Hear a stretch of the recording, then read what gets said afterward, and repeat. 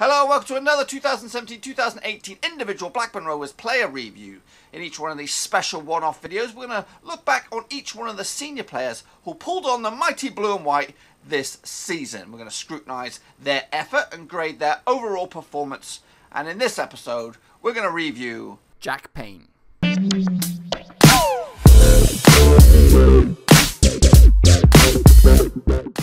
Ah, the mysterious footballing wonder that is Jack Payne.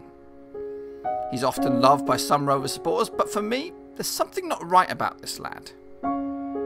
Don't get me wrong, the kid has talent.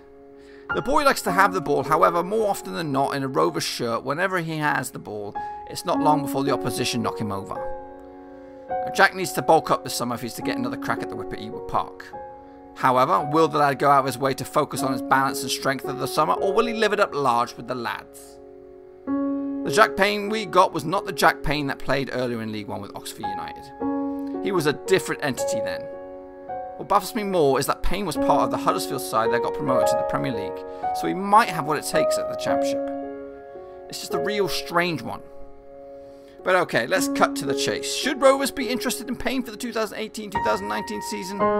Possibly. But let's just see what other options are out there first. I would not rule it out, as the kid has some talent. However, as for a season rating at Rovers, it's going to be a bad one, folks. C minus for the pain in my ass. So let's take a look at Jack Payne's statistics for this season. All in all, uh, he was involved in 54 matches this season. Now that includes his time at Oxford. Uh, he also played a good bunch of games for them. Actually scored eight goals this season. Again, he only just got the. I think he only just got the one for uh, Blackburn Rovers. 11 assists. Actually played in 66% of all possible game time for himself this season. He's actually substituted on uh, 15 times and brought off 21 times and got two yellow cards for his efforts.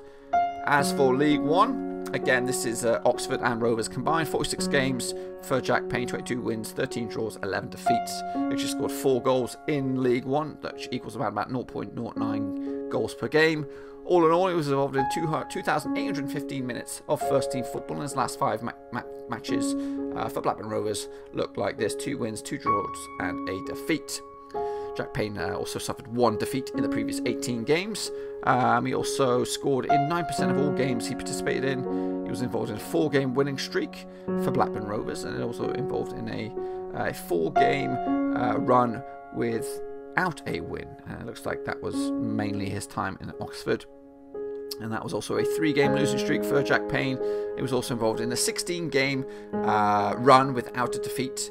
And he scored just one goal in, uh, in succession and he also went on 26 game run without scoring a goal. Now here we have a look at his numbers. There it is, that one goal up against Oxford United, which is quite bizarre because he played for Oxford United. He actually scored against Blackburn Rovers, which is a little bit bizarre. But yeah, you could say you could see he was definitely more the main man at Oxford than he was at Blackburn Rovers. And he was given a hard time by myself this season. So um, he's he is a player. He, he, he, can play football. He's he's just a bit too lightweight for me.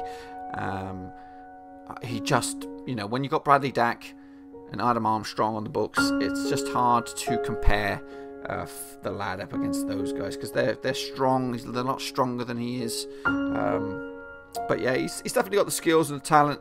I just think he needs to beef up a bit, and then uh, yeah then we'll then we'll see where he goes. Well, that's a lot, folks. If you've enjoyed this review, give it a thumbs up, and if you are new to the channel, hit the subscribe button, and also you can join me right back here tomorrow for yet another 2017-2018 individual Blackburn Rovers player review.